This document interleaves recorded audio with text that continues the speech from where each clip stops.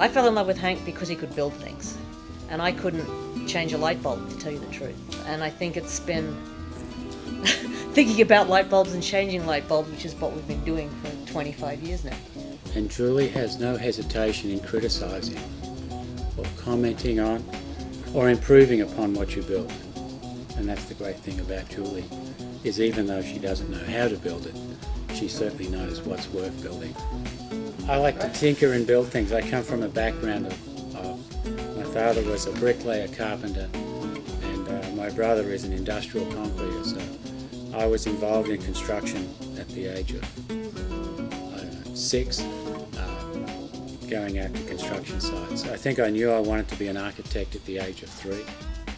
I, I landed in the in architecture by accident because I didn't see myself writing essays full time, and I didn't see myself um, having the sort of graphic strength to be able to say I could be an artist, which was something that really interested me.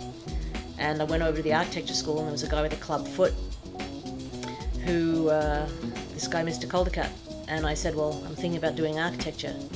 And he said, Well, you don't have to be an architect, it's a great education. And what I found about that is it's true because it doesn't stop at school, it just opens up a whole range of questions.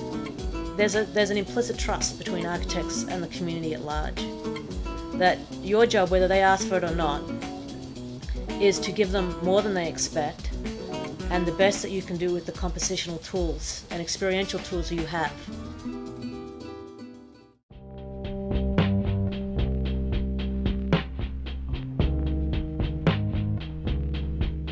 Over the course of, of my career, and particularly in getting involved with public schools in the last decade, um, I've noticed that while we in our society build beautiful office buildings for our corporations and hospitals and so on, um, we tend to put our children in really extraordinarily ugly buildings. And uh, it's, it's always struck me as, as uh, something that's rather disrespectful to children.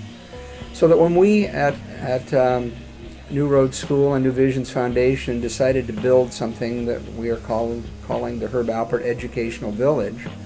What we wanted to do was to create a space that is both functional, uh, that works for all of our educational purposes, but in addition to that is, is aesthetically beautiful and consequently respectful of young people. We uh, interviewed several architectural firms um, looking for that firm that could combine both the knowledge of, of how things work with the city, um, how you solve all the practical problems of, in our case, of putting a whole lot of functions in a relatively small space, and at the same time creating something beautiful. And at the end of the day, um, it seemed like Koning Eizenberg was just the ticket for what we were looking for.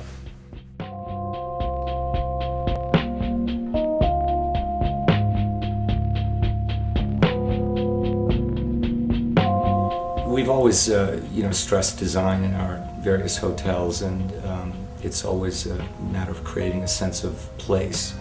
Every hotel is unique, and we work with many different styles.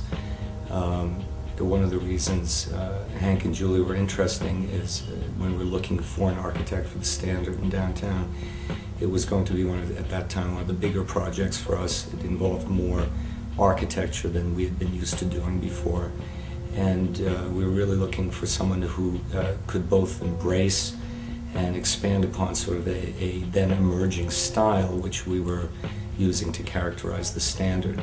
It was a, a terrific collaboration and uh, one in which uh, I think uh, Koning Eizenberg added a lot in terms of their uh, sort of bold and significant moves that, that gave uh, an otherwise staid uh, office building, uh, the kind of character that we were looking for in a standard hotel.